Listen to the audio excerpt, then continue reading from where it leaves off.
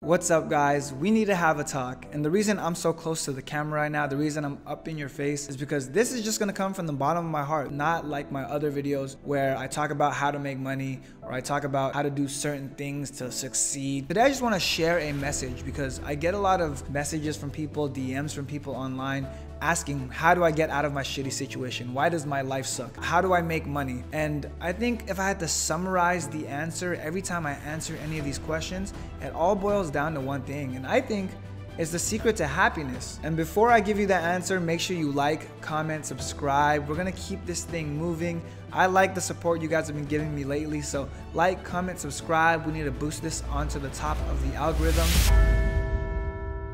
The secret to happiness is letting go of your expectation. Honestly, the reason most people are miserable, the reason most people are sad, is because they have all of these expectations, whether it's their expectations, society's expectations, their parents' expectations, them expecting something from someone else. All of these expectations ruin your life. Growing up, society expects us to go to school, go to college, get a degree, go find a job, get married, have kids, but not everyone is made to do that. On top of that, society also puts a time frame on that. They say, hey, at this age, you should be doing this, and at this age, you should be doing this. So a lot of us, including myself, when we're not doing that by that age, we feel shitty, we feel bad, we feel unhappy because we're not living up to that expectation. But here's the truth those expectations are made by someone else. You shouldn't let someone else's expectations dictate your life or dictate your happiness. In the same way, if you flip it around, you shouldn't have expectations for other people. When you set expectations for other people and it doesn't go that way, you set yourself up for failure. So if you want to be happy, stop with all of the expectations. Don't worry about other people's expectations of you. Don't set expectations on other people and just live the life you want to live because we're all on different time frames. We're all in different places.